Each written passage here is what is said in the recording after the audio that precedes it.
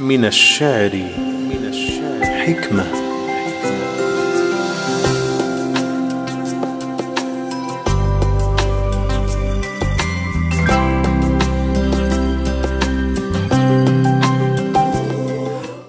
كان أول ما علمه الناس من أمر غزو الإفرنج بلاد الشام أن أسرابا من النسور راحت تلقي بخواتم من أكلته من المسلمين على البلاد. وكل خاتم عليه اسم صاحبه فغرقت البلاد بأسماء الناس.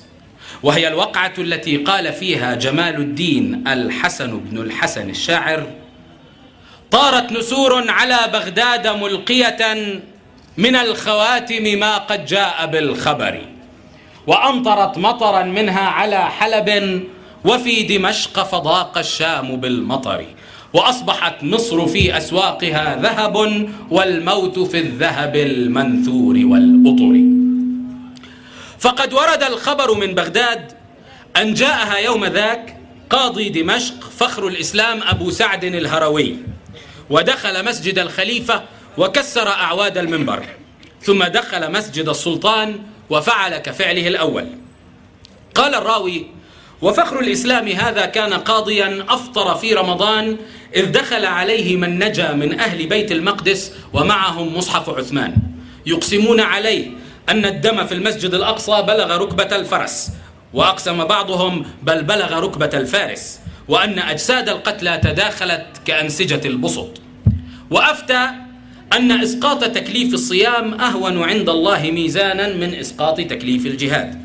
قالوا أخذ العسكر أبا سعد إلى أمير المؤمنين المستظهر فأورد في الديوان العزيز من الكلام ما أوجع القلوب وأبكى العيون. إلا أن أمير المؤمنين لم يستطع البكاء.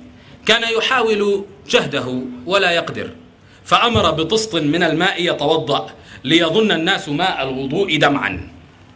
وخرج من المجلس فإذا بجمال الدين بن الحسن الحلبي الضرير يعترض الموكب وهو يقول أسماء أصبحن سماء وسماء تمطر أسماء وإمام الدين ببغداد قد أشبع لحيته ماء يتوضأ من غير صلاة كي يحسبه الناس بكاء.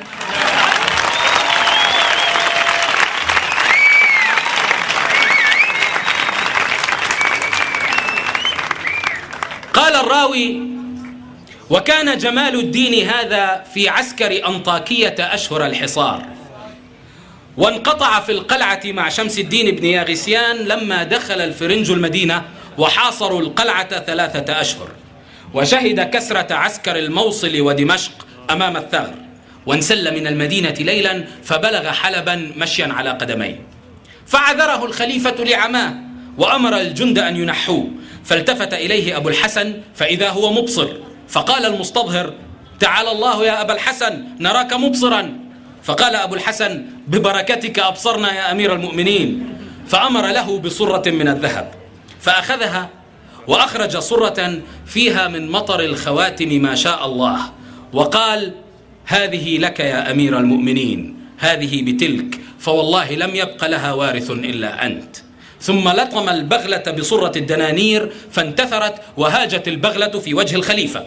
قال قال الخليفة كنت أحسن أخلاقا وأنت أعمن يا هذا. فأنشد الجمال يقول اسمعوا وصلوا على طه الرسول. فدا هذا العمى عمي وخالي ومن لم يفهموه من الرجال. لقد أغمضت عيني اختيارا لأنسى حال أصحابي وحالي. فقال الناس أعمى لا يرانا. فقلت نعم ومسلو وسالي. فبت أرى وباتوا لم يروني فيا للقوم للداء العضال. فإن قلت القصيدة فتحت عيني لأنظر وقع سهمي في النضال. عماي اخترته من بين ألف كما اختير الحسام على الصقال. وقلت لصاحب الدكان مرني وأكرمت الكريم عن الفصال. عمايا على ليالي احتيال. أجازيها احتيالا باحتيالي. إذا حكمت خيال الناس دنيا فإني يحكم الدنيا خيالي. إذا ما سرت في درب فإني كذاك أسير في درب ببالي. أشكلها كما أهوى فليست تصاغ من الدروب على مثالي. وأجعل دربي المثلى بساطا. على درب الحجارة والرمال كما ألقى الصماط على الضحايا أبو العباس في العصر الخوالي فأبدي من زماني ما يواري وأخفي من زماني ما بدالي. إذا ما نظم دهري لم يرقني غلبت الدهر عفوا بارتجالي.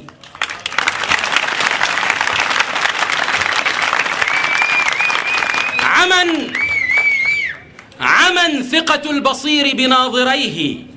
وإيقان الفتى عين الضلال. وإن العلم مقصورا بحس لبحر بات بات ينقل في السلال. سأعرض عن عيون لم تعني وعن عقل تفنن في اعتقالي. عصاي على هواها صولجان أهش بها على غنم الليالي. فأجعل بعض أيامي يميني وأجعل بعض أيامي شمالي. فإن قلتم جعلت الآل ماء فأي الماء فيها غير آلي؟ أكان الماء فإن قلتم جعلت الآل فإن قلتم جعلت السراب فإن قلتم جعلت الآل ماء فأي الماء فيها غير آلي؟ أكان الماء ماء يوم أضحى إمام الناس يبكي كالعيال وحولك ألف سيف لم تجرد وجردت الغواني والغوالي. أكان الماء ماء حين راحت سباياكم على السمر الهزالي. ويوم الحصن صار الماء أغلى بأعيننا من الذهب المسالي.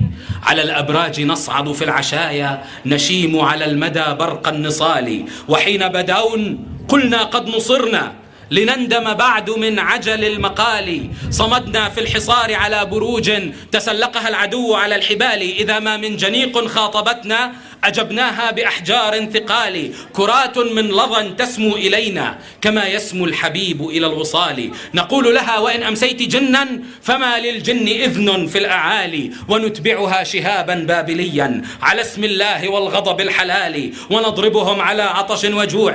وأعيننا على قمم التلال. ثلاثة أشهر صبر البرايا بأنطاكية والصبر غالي وصار الهام أكثر من حصاها وبان الثلج أحمر في الجبال وقد رد الصياح الطير عنها فمنها للعراق الجو خالي. فلما أن بعثت لهم بجيش من الخصيان واختلف الموالي تسلمها الفرنجة بعد لأي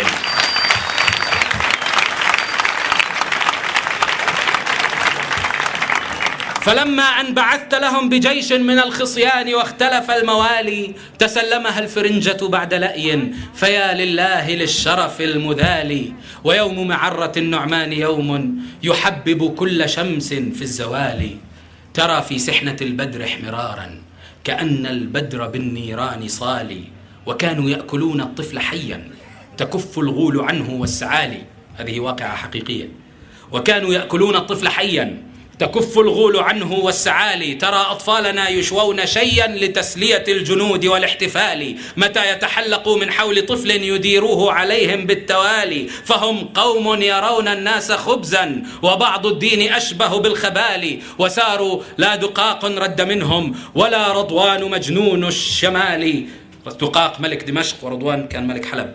وساروا لا دقاق رد منهم ولا رضوان مجنون الشمال وشيزروا بالأدلة أتحفتهم فساروا بالدليل وبالدلال ونادينا الخليفة من قريب فألفينا الخليفة لا يبالي فليس لنا سوى الرحمن حصنا وليس لنا سوى الرحمن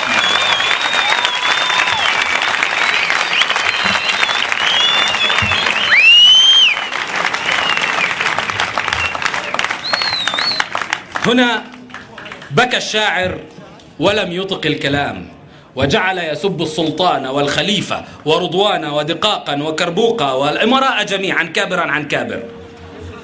وظن الناس أن الخليفة يأمر بضرب عنقه لكن القاضي قال إن دم المسلم لا يحل بلطمة البغلة. أما الوزير فقال يا مولاي إن سقيت الأرض من دم هذا تنبت رجالا مردا وخصوما لدا وإن ضربت عنقه نبت رأسه في جسد غيره.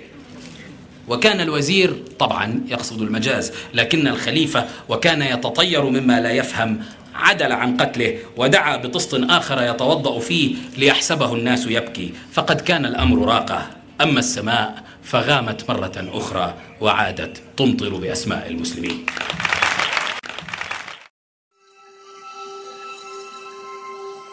من الشعر. حكمة.